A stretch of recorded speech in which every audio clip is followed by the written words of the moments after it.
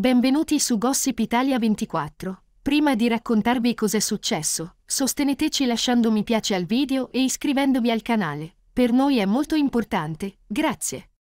La famiglia reale continua ad affrontare momenti difficili. Dopo il cancro di Re Carlo II e la recente chemioterapia di Camilla, la salute dei membri della monarchia rimane una preoccupazione centrale. Secondo un comunicato ufficiale diffuso da Buckingham Palace, la principessa Anna, sorella di Re Carlo, è stata ricoverata in ospedale a causa di un incidente domestico avvenuto nella sua tenuta di Gackham Park. Attualmente è sotto osservazione per ferite e una commozione cerebrale.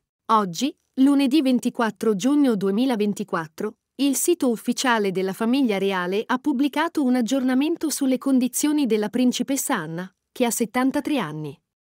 La principessa è ancora ricoverata al Southmead Hospital di Bristol, vicino al confine con il Galles. Sua Altezza Reale rimane sotto osservazione per precauzione, ma si prevede una completa e rapida guarigione.